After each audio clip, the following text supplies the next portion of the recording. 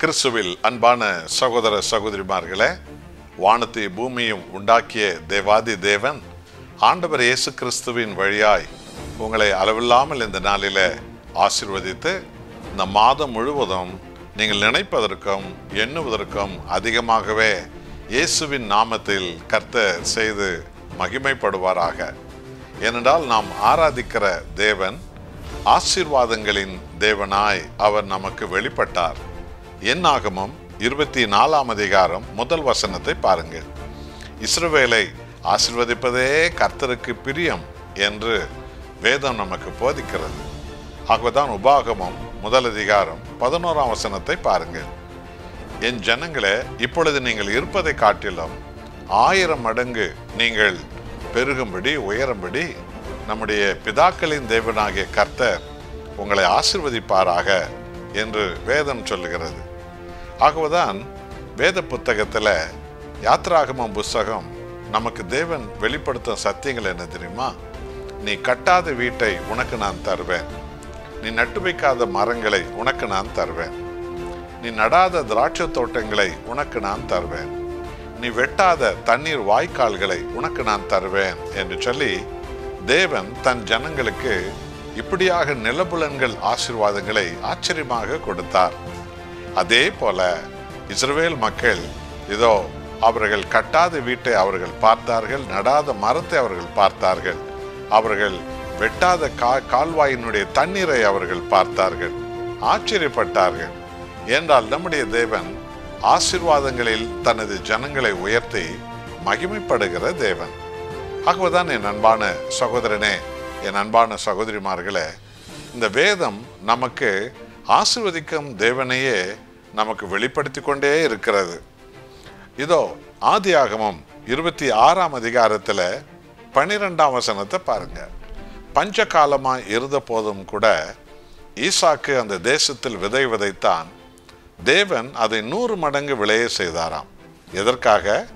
ஏனென்றால் அவர் கொடுத்த வாக்கு தத்தம் ஈசாக்கின் தகப்பன் ஆபிரஹாமுக்கு அவர் தந்த ஆஸ் வாக்கு தத்தம் உன்னை நான் ஆசிர்வதிக்கவே ஆசிர்வதிப்பேன் என்று சொல்லி.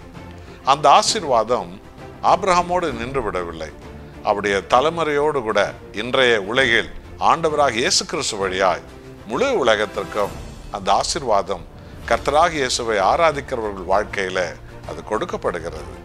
ஆனால் அதுக்கு ஈசாக்கு ஒரு விலை கொடுத்தார். ஆதியாகமம் இருபத்தி நாலாம் அதிகாரம் அறுபத்தி மூன்றாம் வசனத்தை பாருங்க. ஈசாக்கு சாயங்கால வேலையில தனிமையில போய் தேவனை நோக்கி பிரார்த்தனை செய்கிறவராய் அவர் இருந்தாராம். பார்த்தீர்களா? மாலையில தேவனை அவர் நோக்கி ஜெபிக்கிறவராய் இருந்தார். காலையில அவர் உழைக்கிறவராய் இருந்தார். அது பஞ்ச காலமா இருந்த போதும் கூட தேவன் அவருடைய நிலத்தை நூறு மடங்கு ஆசிர்வதித்தார். என் அன்பான சகோதரனே சகோதரிமார்களே நாம் ஆசிர்வாதத்தை விரும்புவோம். ஆசிர்வாதத்தை விரும்பாத மனிதர்கள் இந்த பூமியில ஒருவரும் இல்லை. ஆனால் அதை தவறான வழியிலோ பொய் சொல்லியோ ஏமாற்றியோ லஞ்சம் வாங்கியோ அல்லது கலப்படம் செய்தோ அல்லது பொய் கணக்குகள் எழுதியோ ஒருபோதும் அதை ஆசிர்வாதம் என்று எண்ணி நாம் பெறக்கூடாது. அவைகளெல்லாம் சாபங்களாக மாறி போய்விடும். மாறாக கர்த்தராக இயேசு கிறிஸ்துவின் வார்த்தையின்படி நாம் நடந்து உத்தமமும் உண்மையுமாய் உழைக்கும் பொழுது உலக பிரகாரமான ஆசிர்வாதம் ஆவிக்குரிய ஆசிர்வாதம் இதோ ஆவிக்குரிய பரலோக ஆசிர்வாதம் ஆத்துமாதாய ஆசிர்வாதம் உடல் சுக ஆசிர்வாதம் இயேசுவின் நாமத்தில் நமக்கு கிடைக்கும். தேவனையே நோக்கி அவர் சமூகத்தையே நோக்கி நாம் கெஞ்சுவோம் ஜெபிப்போம். தேவன் நினைப்பதற்கும் எண்ணுவதற்கும் அதிகமாகவே இந்த மாதம் முழுவதும் உங்களை ஆசிர்வதிப்பார். நாம் ஜெபிப்போமா? அன்பின் நேசக் பிதாவே எங்கள் ஆண்டவர் இயேசு கிறிஸ்துவை உலகத்துக்கு அனுப்பி பாவத்தையும் பாவத்தின் விளைவான சாபத்தையும் உலகம் முழுவதும் இருக்கிறவைகளை சிலுவையில் ஏற்றுக்கொள்ள செய்து கர்த்தராக இயேசு கிறிஸ்து வழியாக யார் ஒருவர் உம்மை விசுவாசிக்கிறார்களோ அவர்களுக்கு பரலோக பலக்கணிகளை திறந்து ஆசிர்வாதத்தினால் அவர்களை நீர் உயர்த்துகிற தேவனா இருக்கிறீர் என்னோடு ஜெபிக்கிறவர்களை நீர் ஆசீர்வதியும். ஒரு புதிய புதிய கதவு இந்த பிள்ளைகளுக்கு திறக்கட்டும். புதிய புதிய காரியங்கள் புதிய புதிய பதில்கள் இவர்களுக்கு கிடைக்கட்டும். உம் நாமமே மகிமடையட்டும். இயேசுவின் நாமத்தில் பிதாவே ஆமேன்.